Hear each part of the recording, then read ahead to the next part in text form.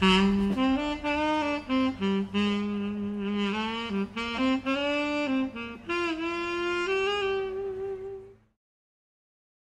here's the question. For some reason, you've swapped out your rotors.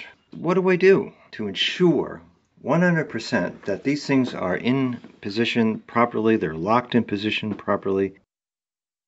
I push it down and turn the motor just a little bit and then let go. And you can see that this nub, the rotors are compressed, they're down.